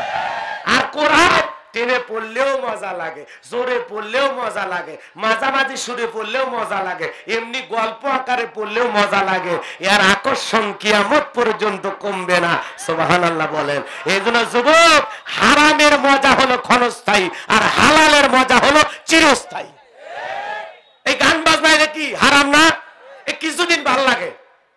কথা কন না কে? কিছুদিন ভালো লাগবে, দুই, তিনবার শুনলে ভালো লাগবে, ওটা পাঁচশো বার শুনলে আর মজা লাগবে না। কিন্তু আল্লাহর কোরআন হাজার বার শোনার পরে আর বিরক্ত লাগবে না। কথা দেখে না যদি কোরআনের মহাব্বত আপনার কলিজায় থাকে এই জন্য কোরআনকে সহি শুদ্ধ করে পড়ার দরকার আছে না নাই? আমার আল্লাহ পাক কি বলেছেন? আউসিদা আলাইহি ওয়ারাতিলিল কোরআন তারতিলা কোরআনটাকে তার তিলের সহিত স্পষ্ট করে, ধীরে ধীরে, সুন্দর করে, থেমে থেমে তিলাওয়াত করো, কথা বলেন ঠিক কিনা? অনেক বাবাজিরা আছে মুরব্বীরা তেলাওয়াত করে, আলহামদুলিল্লাহ রাব্বিল আলামিন। সই করে পড়তে পারে। কথা কোন না নামাজ ভঙ্গের কারণ আছে কয়টি? উনিশটি। তার এক নাম্বার, নামাজের ভিতরে অশুদ্ধ তিলাওয়াত করলে আপনার নামাজ হবে। তেলাওয়াত সই না হলে সলাৎ হবে। হবে না। আপনার তেলাওয়াত এইভাবে করলে হবে না, বাজান। বিশেষ করে মা বোনেরা, কোরআন তিলাওয়াতের ব্যাপারে খুবই ভয়ঙ্কর। ওদের তেলাওয়াত শুনে ফেরেস্তারা তো দৌড় মারে। কথা কন না? বাপ রে বাপ, কোন জায়গায় টানা লাগবে আর কোন জায়গায় সারা লাগবে কিচ্ছু বোঝে না। ওর পাইকারি ধরে টানা শুরু করছে। আলিফ লাম কিতাবু আছে না নাই? শোনেন, এই কোরআন! যারা ভুল ভালো তেলাওয়াত করে, অশুদ্ধ তেলাওয়াত করে, আল্লাহর ফেরেস তারা তার উপরে লানত দেয়। সব তো দূরের কথা। উল্টো ভাগ্যে কি জুটবে? লানত জুটবে। এই জন্য তেলাওয়াত আমাদের সই করতে হবে। আপনি যে কয়টাই সুরাতে পড়েন না কেন, দুনিয়ার ব্যবসা বাণিজ্য সব বোঝেন। আরে মুরব্বী চাষা টাচ মোবাইল ব্যবহার করে টিকটক ভিডিও দেখে। কথা কন না কেন? তো দুনিয়ার এত কিছু আপনি বোঝেন, আর আল্লাহর কোরআন বুঝতে না। কথা কন না কেন? কয়েকটা সুরে সই করে পড়তে পারেন না। পড়ার দরকার আছে না না? সুন্দর করে পড়তে হবে। আলহামদুলিল্লাহ রব্বিল আলামিন সহি শুদ্ধ করে আপনাকে পড়তে হবে। এজন্য মসজিদের মুয়াজ্জিম হোক, ইমাম হোক, তাকে কয়েকটা টাকা দিয়ে হলে সহি শুদ্ধ করে আমরা শিখব, ইনশা আল্লাহ। কষ্ট পাচ্ছেন আপনারা, আমার বিরক্ত হয়েছেন না? ভাইয়েরা, আমার হৃদয়ের কান পেতে কথাগুলো শুনে যান। আমার নবীজি তিলাবাত করে শোনায় দিলেন। আমার আল্লাহ পাক বলেন, ইন্না কাল কাউসার। আল্লাহ আকবার বলেন। আমার আল্লাহ পাক বলে নবী গো আপনাকে হাউজে কাউসার দান করেছি, আপনাকে কাউসারের মালিক বানা দিয়েছি, বলেন আল্লাহু আকবার। এ হাউজে কাউসারের পানি, মধুর চাইতে মিষ্টি, পানির চাইতে বেশি ক্লিয়ার ওই কঠিন কিয়ামতের ময়দানে মানুষের জিব্বা যেদিন কুকুরের মতো ঝুলে নাভি পর্যন্ত চলে আসবে, সূর্য সহাত মাথার উপরে চলে আসবে, জমিন হবে তামার জমিন। ওই কঠিন কিয়ামতের ময়দানে বিচার দিবসের একদিন হবে পঞ্চাশ হাজার বছরের সমান। ওই কঠিন কিয়ামতের ময়দানে নবীজির হাতে এক পেয়ালা হাউজে কাউসারের পানি যে পান করবে। জান্নাতে ঢোকা পর্যন্ত তার আর কোনোদিন তৃষ্ণা লাগবে না। আল্লাহ আকবার বলেন। এই হাউজে কাউসারের পানি বাজান গো আমার। হযরত আবু বকর সিদ্দিক রাদিয়াল্লাহু তাআলা পিয়ালাগুলো ভরায়া দিবেন। সুবহানাল্লাহ বলবেন না। আর মাঝখানে দাঁড়িয়ে থাকবেন হজরত উমর। বকরের হাত থেকে নিয়ে হজরত উমর সেই পিয়ালা দিবেন বিশ্ব নবীর হাতে। আর নবীজি তার আদরের উম্মত খুঁজে খুঁজে তাদেরকে নিজ হাতে হাউজে কাউসারের পানি পান করাবেন বলেন, সুবহানাল্লাহ। আরও জোরে বলেন, সুবহানাল্লাহ। এ বাজান গো আমার, হৃদয়টা নরম করে কথাগুলো শুনে যান। হাউজে কাউসারের পানি, এটা তো আনন্দের বিষয়, এটা তো বড় একটা প্রাপ্তি। কিন্তু হাউজে কাউসারের পানি আপনি চাইলেন আর পাইলেন, আনন্দের সংবাদ কিন্তু চাইলেন আর পাইলেন এমনটা তো হবে না। আমি মুসাফির মানুষ, গাইবান্ধা থেকে মনে করেন সফর করে আসছি। এই বাজান গো আমার, এলাকায় একটা যুবকের হাতে কয়েকটা চকলেট হাতের মধ্যে দিয়ে যদি বলি, বাবা, আমার জন্য এক বদনা পানি নিয়ে আয়। ওই যুবক পানি আনতে গিয়া মনে করেন সামনে একটু যা হোসট খাইয়া পইরা গেছে, আচার খাইয়া পইরা গেছে, একটু হাঁটু টাটু ছিলে গেছে আর কি। তারপরে ওই যে চকলেট থাকার আনন্দের কারণে দৌড়ে যায় টিউবওয়েল থেকে হোক আর ট্যাপ থেকে হোক পানি ভরে নিয়ে আসলো। আমার কাছে যখন বদনাটা হাতের মধ্যে দিয়েছে, তখন আমি বললাম, বাবা, তোমার মনে হয় এই পানি আনতে গিয়ে একটু কষ্ট পাইছে? ওই যে কিছু দূরে দেখলাম পড়ে গেছিলা। আসার খাইছিলা। ওই চকলেট থাকার আনন্দে, ওই চকলেট থাকার কারণে ভিতরে ভিতরে এত খুশি। ওই যে পইরা গেছে, হাঁটু যে সিলে গেছে, একটু যে রক্ত বের হয়েছে, ওই কথার মনে নাই। আপনি যখন বলবেন, বাবা, তুমি পইরা গেছো, কষ্ট পাইছো, ব্যথা পাইছো, তখন বলতেছে না না, আমি এরকম কত পড়ে যাই আমার কিছুই হয় না। কথা কন নাকি আপনারা। তার মানে যে চকলেটের খুশি আর আনন্দে তার কাছে কিছুই মনে হইতেছে না। হাউজে কাউসারের পানি। বাপরে বাপ, সুন্দর। হুজুর তো ফাইন ওয়াজ করল, ভালোই লাগল। কিন্তু হাউজে কাউসারের মিষ্টি পানি পান করতে গেলে কাজ করা লাগবে দুইটা। এমনি এমনি ভাগ্যে পানি জুড়বে না। হাউজে কাউসারের পানি পান করতে গেলে দুইটা কাজ করা লাগবে, জোরে বলেন কয়টা?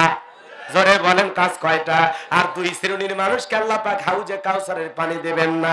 ওই দিকে গেলে আলোচনা লম্বা হবে। কি দুইটা কাজ করলে আমরা হাউজে কাউসারের পানি পাবো? আমার আল্লাহ পাক দুই নাম্বার আয়তে বলেন ফাসল্লিলি রব্বিকা ওয়ানহার।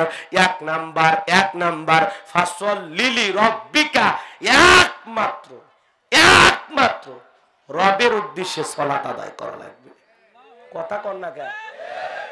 আয়াতের অর্থ একটু ভালো করে বুঝবেন। ফাসল লিলি রব্বিকা সলাত আদায় করতে হবে একমাত্র আল্লাহর জন্য। কার জন্য? সলাত আদায় করতে হবে একমাত্র কার জন্য?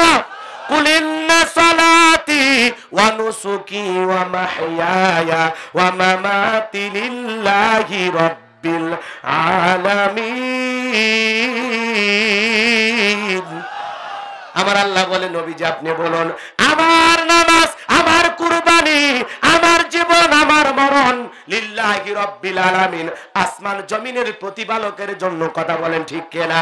আপনার আমার জীবনের সব ইবাদত একমাত্র কার সন্তুষ্টি অর্জনের আশা। কথা বলেন না কেন? আমার জীবন, আমার মরণ, আমার বন্দেগি। আমার জীবন, আমার মরণ, আমার বন্দেগি। কবুল কর। আমার বন্দেগি, আমার জীবন, আমার মরণ, আমার জিন্দেগি। মারহাবা কোন? সবকিছু একমাত্র কার জন্য? তাহলে আল্লাহ কি বলেন? ফসল লিলি রব্বিকা রবের উদ্দেশ্যে সলাত কদ আফলাহাল মুমিনুন আল্লাযীনা হুম ফি সলাতিহিম খাশিউন। যারা এদিক খেয়াল করেন, অবশ্যই মুমিন- মুমিনেরা সফল। অলরেডি মুমিনের সফল হয়েছে। যারা নিজেদের সলাৎ বিনয়ের সহিত, নম্রতার সহিত কুচু কুচু ভাব নিয়ে আল্লাহর ভয়ে গিয়ে মসজিদে সিজদা দেয়। কার ভয়ে? আপনি, আমি যখন আল্লাহকে সিজদা দেওয়ার জন্য মসজিদে দাঁড়ায় দেব সুচিন্তা, দুচিন্তা টেনশন মুক্ত হৃদয় নিয়ে, নির্ভেজাল একটা অন্তর নিয়ে আল্লাহর সামনে দাঁড়াবেন। যে অন্তরে যে হৃদয়ে একমাত্র আল্লাহর ভয় থাকবে আল্লাহর ভয় নিয়ে যখন আপনি আমি সলাতে আদায় করব, তখন এই নামাজ আল্লাহর দরবারে কবুল হবে। আর আপনি, আমি যখন সলাতে দাঁড়াবো, মনে মনে এটা খেয়াল করব, আমি সলাত আদায় করতেছি আর আল্লাহ আমাকে দেখতেছেন। কথা বলে না কেন?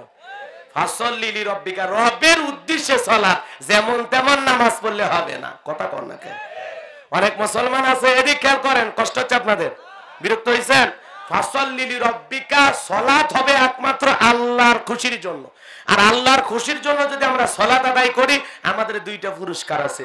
আমার আল্লাহ পাক বলেন, ফালিয়াবুদু রাব্ব হাযাল বাইত আল্লাযী আত'আমাহুম মিন জু' ওয়া আমানাহুম মিন খাউফ আমার আল্লাহ পাক বলে এই ঘরের মালিকের ইবাদত করো। ইবাদত যদি ইবাদতের মতো করতে পারো গোলামি যদি গোলামির মতো করতে পারো, আমি আল্লাহ পাক দুইটা জিনিস তোমাদেরকে দেব। এক নাম্বার, রিজেকের টেনশন করা লাগবে না। যতই স্লোগান দেখ, দুর্ভিক্ষ আসবে, কষ্ট আসবে, ওই স্লোগান তুমি বিশ্বাস করো না। তুমি যদি ইমানদার হয়ে থাকো, মমিন হয়ে থাকো, ওই কপালটা আমি আল্লাহর কাছে নত করো। যেই কপাল দিয়ে আমি আল্লাহকে সিজদা দিয়া, আমি আল্লাহকে খুশি করতে পারছ, ওই বান্দাকে আমি আল্লাহ না খাওয়ায় আমার বোনা আমি আমি আমি আমি আল্লাহ, আমার বান্দার জন্য রিজেকের ব্যবস্থা করব। বনি ইসরায়েলদেরকে আল্লাহ পাক মান্না সালোয়া আসমান থেকে পাঠায়া যদি খাওয়াইতে পারেন, ও বাংলার মুসলমান, যতই উপর থেকে আওয়াজ আসুক, দুর্ভিক্ষ আসবে। এই মাথাটা যদি আল্লাহর কাছে নত করে পাঁচত্ব সলাতে সিজদা দিতে পারি, আর আল্লাহর কাছে যদি সকল মুসিবত থেকে পানা চাইতে পারি, বিশ্বাস করেন, হাজারো দুর্ভিক্ষ মোকাবেলা করা যাবে আল্লাহর গোলামির মাধ্যমে। আপনি আল্লাহ না ডেকে বিদেশিদের কাছে ঋণ চাচ্ছেন। কথা কর না এমনি তো লোকটা মরে গেছে গর্তে পড়ছে। দড়ি না দিয়ে ওর ওপর পানি ঢালতেছে। তাহলে অবস্থা ভালো না খারাপ? এমনি আমাদের অবস্থা খারাপ তার উপর যদি আবার ঋণ নেওয়া হয় তো অবস্থা ভালো না খারাপ? এমনি যত ভয় লাগে সমাজের অবস্থা দেখে কথা কোন ঠিক কিনা? এজন্য বাজার জাকাত ভিত্তিক অর্থনীতি চালু না হওয়া পর্যন্ত, জাকাত মন্ত্রণালয় চালু না করা পর্যন্ত, বিশ্বাস করেন, কোন দুর্ভিক্ষের মোকাবেলা করতে পারবেন না, এই দারিদ্র মুক্ত বাংলাদেশেও করতে পারবেন না। ওটা খালি ব্যানারে ঝুলে থাকবে। এ কথা কর নাকি আপনারা? কি? আমাদের স্বপ্ন দারিদ্র মুক্ত বাংলাদেশ করব। ওই স্বপ্নের জায়গা থাকবে আর সাইনবোর্ডের জায়গা থাকবে, কাজ হবে না। যদি সত্যি সত্যি দারিদ্র মুক্ত বাংলাদেশ এটা যদি আপনাদের মনের চালা হয়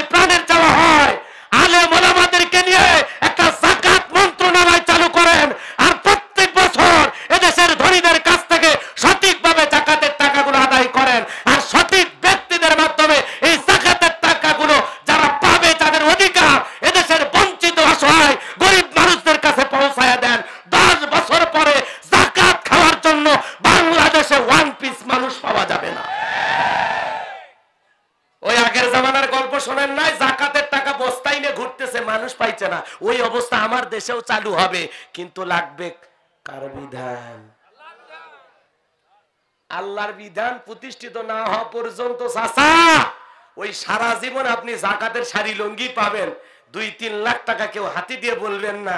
এই মিয়া আজ থেকে আর জাকাতের টাকার জন্য কারও যাওয়ার কাছে যা লাগবে না। তিন লাখ টাকা দিলাম, ব্যবসা বাণিজ্য করে প্রতিষ্ঠিত হন। আরে ভাই, কাউরে যদি জাকাতের এক লাখ, দেড় লাখ, দুই লাখ টাকা দিয়ে তার একটা কর্মস্থানের ব্যবস্থা করে দেওয়া যায়, পাঁচ বছর পরে ও ব্যক্তি নিজে স্বাবলম্বী হয়ে জাকাত দেবে। আজকে আলেমদের খালি কথা মানুষ খালি শোনে, বাস্তবে কেউ মানে না। এই মুরলের মানুষ। আমি আপনাদেরকে যদি বলে যাই, এই মুরলে যদি মনে করেন বিশ জন ধনী থাকে, জাকাত ফরজ হয়, আপনারা বিশ জন এক জায়গায় একটা জাকাতের টিম গঠন করেন। আসেন, বিশ জন এক টেবিলে আসেন আসেন আসেন। কথা মনে বুঝলেন না? একটু একটা উপদেশ বলে দিয়ে যায় মানে না না মানে বললাম আর কি, কষ্ট হচ্ছে আপনাদের?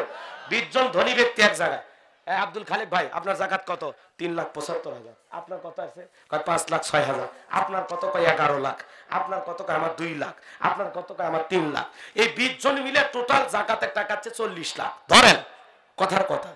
তাহলে এই মুরলে উত্তর পাড়া, পশ্চিম পাড়া, দক্ষিণ পাড়া, চল্লিশ জন মানুষ এমন রেডি করেন যে চল্লিশ জন মানুষ সবচাইতে গরিব। কর্মস্থানও নাই, কোনো কাজও নাই, দিন যাওয়া কঠিন। এমন চল্লিশ জন মানুষ এই বছরে যাচাই বাছাই করে তাদেরকে এক লাখ করে টাকা দেন। আর বললেন, বাবা, এ টাকা দিলাম, অটো ভ্যান কিনবি না, রিক্সা কিনবি, কিনে কিনে ভাগ্যের পরিবর্তন কর। তোকে যেন আমি জাকাতের জন্য আর কারও দুয়ারে লাইন না দেওয়া দেখি। কথা কন ঠিক কিনা? লাগলে আমরা আবার পাশে দাঁড়াবো। এইভাবে যদি আমরা মানুষের পাশে দাঁড়াই ছেলে পেলে যারা আছে, বেকার, কাজ নাই, কর্ম নাই, রিক্সা, ভ্যান, অটো কিনে দিয়া যদি আমরা পাশে দাঁড়াই, কি মনে হয় আপনাদের? একটা ছেলে বেকার বসে আছে, মুরল বাজারে যদি ওটা চায়ের দোকানের ব্যবস্থা করি, অথবা একটা ফল ফুটের দোকানের ব্যবস্থা করে দেয়, ছোট্ট একটা কাজের ব্যবস্থা করে দেয়, জাকাতের অর্থ দিয়া। আপনার ফরজ ইবাদত পালন হলো, একটা লোকের কর্মস্থানের ব্যবস্থা হলো। এবছর চল্লিশ জন গরিব, কি হলো? গরিব মুক্ত মনে করেন মুরুল হয়ে গেল।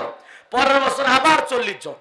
এইভাবে হিসাব করে পাঁচ বছর বা দশ বছর যদি ঠিকভাবে জাকাত ওই বিশ জন ধনী এক জায়গায় হয়, আরে দুইশো টাকার লোট পুরো গ্রাম পৌঁছাছে। হাই রে জাকাত দাতা রে! দুইশো টাকা করে নোট দিয়ে পুরো গ্রাম পৌঁছাচ্ছে। এ দায়িত্ব আপনাকে কে দিছে? আলেমুল আমাদের কাছে শোনেন যে জাকাত দেওয়ার পদ্ধতিটা কেমন? কীভাবে দিলে আমার আল্লাহ খুশি হবে? আর ইসলাম কীভাবে দিতে বলেছে? হজরত ওমর ফারুক ডেকে বলেন, তোমরা জাকাতের অর্থ এমন ভাবে দাও যাতে ওই ব্যক্তি জাকাতের জন্য পরবর্তী বছরে কারও দুয়ারে লাইন না দেয়। তার মানে কি? দেওয়ার মতো দেওয়া লাগবে ফাঁসদানি নয়। লুঙ্গি দেবেন, নিজে পরে থাকেন পাঁচশো টাকার লুঙ্গি, আর গরিব দেন দুইশো টাকার লিটল লুঙ্গি, পরে থাকলে আর জান্নাত, জাহান্নাম, সব দেখা যায়। এই বড় লোক তোর ইজ্জতের চাইতে গরিবের ইজ্জতের দাম বেশি। আর তোর ভেজাল আছে? কথা কন কে? গরিবের কোনো ভেজাল নাই। রাগ করতেছেন? যাই হোক, মাজান গো আমার অনেক লম্বা সময়, কষ্ট হচ্ছে আপনাদের? তাহলে দুর্ভিক্ষের মোকাবেলা করতে পারব তখন, এই মাথা আল্লাহর কাছে নত করব যখন। আর জাকাত ভিত্তিক অর্থনীতি চালু করে, জাকাত মন্ত্রণালয় চালু করে, সঠিকভাবে যখন আমরা সঠিক জায়গায় হাত না দিলে, আরে ভাই, পা চুলকেতেছে। আপনি যদি মাথায় মলম দেন, কাজ হবে? চুলকানি যে জায়গায়, মলম ওই জায়গায় লাগা। আলেমদেরকে নিয়ে বসেন না এক জায়গায় যে কীভাবে দুই হাজার তেইশ সাল মোকাবেলা করা যায়, কীভাবে কি করা যায়, আপনারা উপায় বের করেন। আলেমদের কাছে বসবে না আরও আলেমদেরকে কথা কর না কে? ইশারায় বোঝেন, আর বেশি বলার দরকার নেই। আল্লাহ বোঝার তাও দান করুন, জোরে কোনা, আমিন। বগুড়ার মুসলমান কষ্ট পাইছেন? দিনের বেলা খামাকা হয়তো বা আপনারা দাওয়াত খাইতেন, বিবিকে নিয়ে ঘুরতেন, আজকে মনে কষ্টই দিয়ে ফেললাম, নাকি বলেন? আমার এই যে জাহাঙ্গীরি ভাই দুই বছর ধরে ধরছে। আগে তো আমার সাথে মনে করেন লঙ্গি পরে দেখতে গেছে, ওই আরএফএলের মালিকের মতো অবস্থা। বড় লোকের গল্প শোনেননি? লঙ্গি পরে গেছে, মাইক্রো কিনবেন। তো এই ভাইয়ের অবস্থা তাই বাড়ি ঘর দেখে তো আমি অবাক। আলহামদুলিল্লাহ। আল্লাহ তাকে আরও ধন সম্পদ বাড়ায় দেখ, জোরে বলে আমি। একমাত্র আল্লাহকে খুশি করার জন্য আজকের আয়োজন। কথা বলেন না কেন? কষ্ট হচ্ছে আপনাদের? মানুষ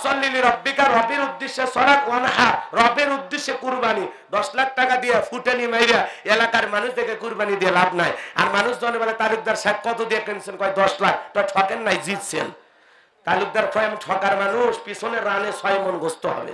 এরকম চিন্তা ভাবনা করে কুরবানি দিলে আল্লাহর কাছে কুরবানি কবুল হবে? দশ হাজার টাকার ছাগল দিলেন। আপনার নিয়ত টাকাটাও হালাল। আল্লাহর কাছে যদি বলেন, আল্লাহ, ইব্রাহিম ইসমাইলের মতো কবুল করো। বিশ্বনবী এবং সাহাবা ইকরামদের কুরবানি যেভাবে কবুল করেছ, আমার কুরবানি সেভাবে কবুল করো। নিয়ত যদি সহি হয়, টাকাটা যদি হালাল হয়, হোক না দশ হাজার টাকার ছাগল, ওর রক্ত জমিনে পড়ার আগে আমার আল্লাহর দরবারে কবুল হবে। ওলা কি তাকওয়া মিনকুম। আল্লাহ তাকওয়া দেখে। কথা কন না বড় গরু দেখে আল্লাহ। আল্লাহ কি দেখে?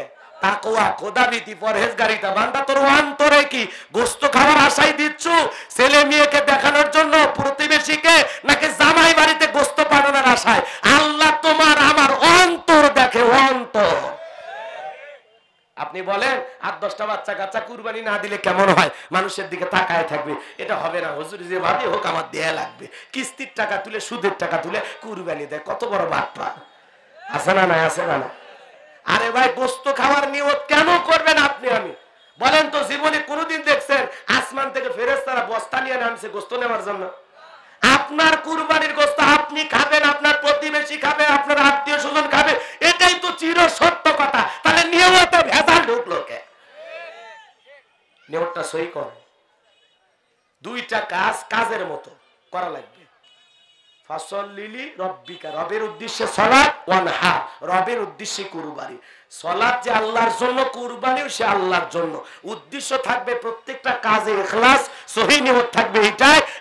যা করতেছি আমার আল্লাহর খুশির জন্য।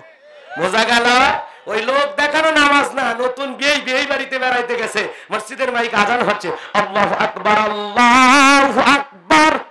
বিয়ে বলতেছে, ভাই আপনি আমার বিয়ে মানুষ, নতুন বিয়ে বেড়াইতে আসছেন, গল্প সল্প করেন, আমি একটু তিনবারের হাজি ভাই পাঁচ অক্ট নামাজ, বারো বছর ধরে কাজা হয় না, আমি একটু মসজিদে গেলাম। নতুন বিয়ে চিন্তা করে, জীবনের প্রথম বিয়ে বাড়িতে আসলাম। এই অবস্থায় যদি নামাজে না যায় বিয়ে তো আমার শয়তান ভাববে। অর্থাৎ যেভাবে হোক, নামাজ পড়িয়া নাম বিয়ে কি মনে করেন, আমি নামাজ পড়ি না? ওই মাঝে মাঝে ব্যস্ততার কারণে হয় না, এই আর কি।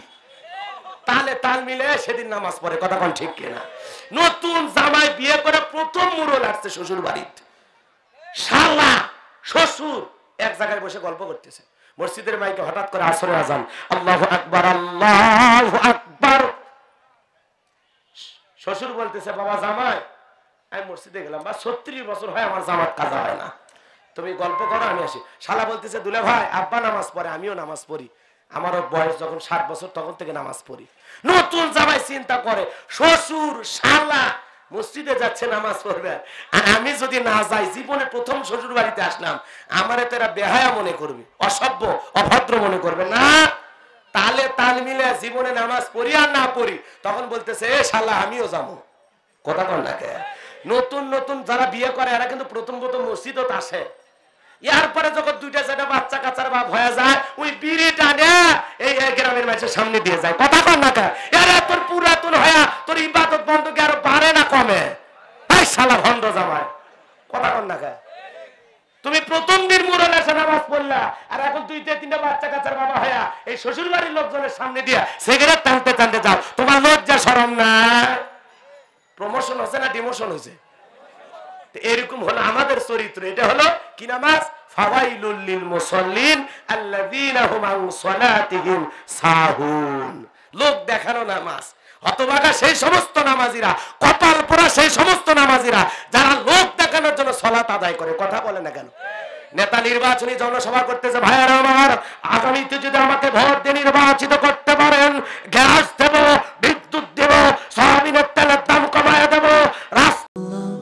the.